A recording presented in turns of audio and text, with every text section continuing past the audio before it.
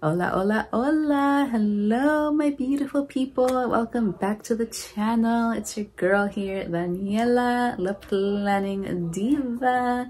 And welcome to my craft corner. I got all my plushies, my planners. I got everything. This is my happy place, my beanie babies, my stickers, my pens. I really need to set up like a little craft corner tour for y'all. She's humble, but she's sweet. I'm absolutely in love with my little craft corner here and my, my Mario Kart banana. So cute. I love him so much. My boyfriend bought him for me for Christmas. And I got my Pooh Bear, y'all. This Pooh Bear has been with me since I was like five years old. Anyway, welcome back. How are you all? Let me know how you all are doing in the comments down below. How have you been with your planners? Have you been keeping up with your planners? Let your girl know.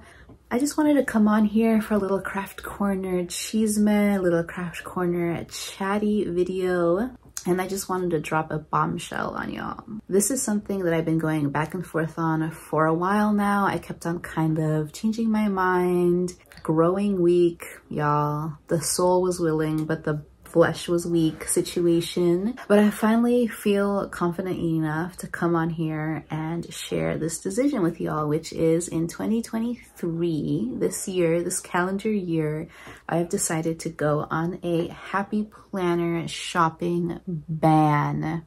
I know, I know, I know, I know. I didn't want to do it. I almost didn't do it. And let me get this straight. This is not in any way because I dislike the Happy Planner. I don't like the Happy Planner. I'm doing this because I love the Happy Planner. I love the Happy Planner way too much for my own good and I need to take a break and calm down for a bit. Ever since I discovered the Happy Planner, it was love at first sight. I really, really like their products. I love their aesthetic and I love how you can find Happy Planner products pretty inexpensively, particularly planners that are out of season, out of style, out of date. And y'all know me, when I fall in love, I fall in love hard and I went hard for the Happy Planner. I have so much Happy Planner stuff that it's gonna last me forever. I probably have more than a hundred sticker books. I have thousands of stickers. I have, I think, more than 80 planners from the Happy Planner. Even if I used 10 planners per year, I would it would take me eight years to finish that amount of planners. And of course, you know, when I buy planners, I don't necessarily buy them to use them as planners. I buy them for the rings, the covers, the dividers, the pages even. For me, planning is definitely an art form and just like a painter or a sculptor buys materials and just buys art materials in general, that's kind of how I approach buying planner supplies. I think this is also coming from the perspective I'm a mixed media artist. I do a lot of collage work. And so for me, I can definitely see myself using a lot of product as an artist. That being said, I do want to get through my stash. I definitely do have a lot of Happy Planner stuff. I'm not trying to defend that. Maybe just a little, maybe just a little.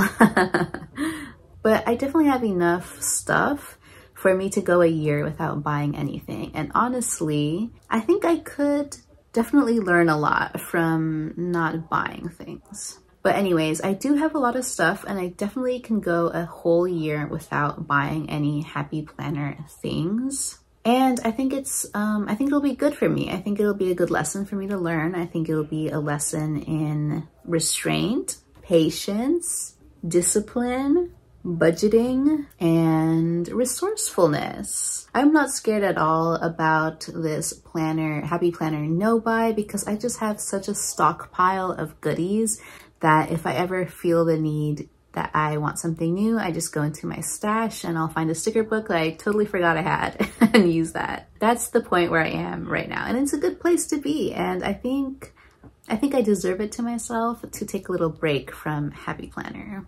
But I do love Happy Planner. I love them. I love them.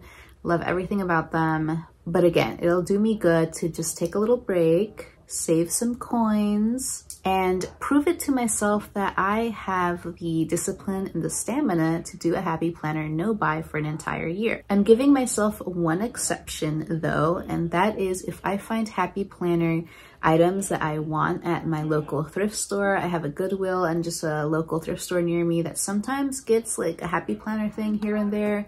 They're really, really cheap, just like three or four dollars. But sometimes I see something there and I want it. And so I'll let myself grab a happy planner thing here and there from a thrift store, but I'm not gonna buy anything um, new either from like a retailer like Michael's or Joann's or Hobby Lobby or from the Happy Planner website itself.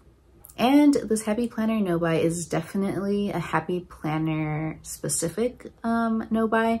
I mean, I would say like 90% of the planner and crafting stuff that I purchase is from Happy Planner. I don't really purchase things from other brands too much. Here and there, I'll purchase something from other smaller businesses, but I'm mostly a happy planner girl, so this no buy is pretty much a planner no buy, a planner and crafty no buy. But I will allow myself to purchase from other small businesses like Cafecito Designs, Simply Gilded. I'm not too worried about those brands though because I just don't purchase a lot from anything besides Happy Planner. But if I ever feel in the mood to get some new crafty goodies, you know, I'll let myself support a small business, especially a Latina owned small business like Cafecito Designs. It's Happy Planner that I'm a little bit more worried about when it comes to spending my money. Anyway, this is gonna be good for me. I think it's gonna be a really good exercise for me. I'm just gonna buckle down and tighten my belt for a year and not buy anything happy planner. And honestly, I'm just gonna try to not buy too much stuff when it comes to like arts, crafts, and planner stuff. And not gonna lie, this has been a little bit difficult. It hasn't been as difficult as I thought it was going to be starting off but I was sorely tempted by the Be Happy box that just came out, the Valentine's one with the dogs. You know I'm a dog lover. You know I have two pugs. You know I love all that cutesy stuff and that Be Happy box was just so cute and stunning and I love the bookmark especially, oh my goodness.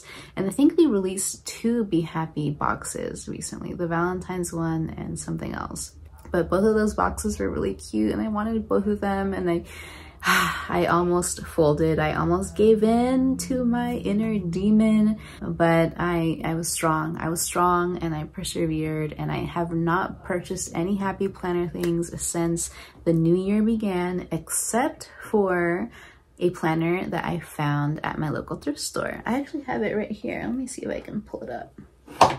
I found this planner completely new in box. It's a big teacher planner. Look at that.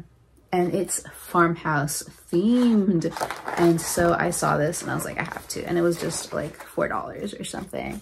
But I found this planner at my local thrift store. And that's the only like exception to the rule that I'm going to allow myself this year is if I find happy planner things at my local thrift store, then I can get it. Anyways, I hope you enjoyed this little crafty corner chat with me. I'm hoping to do more chatty videos this year and just, you know, show up in my little craft corner and talk to y'all about just things going on in my planner babe life. And I hope you enjoy these chatty, like face-to-face -face videos.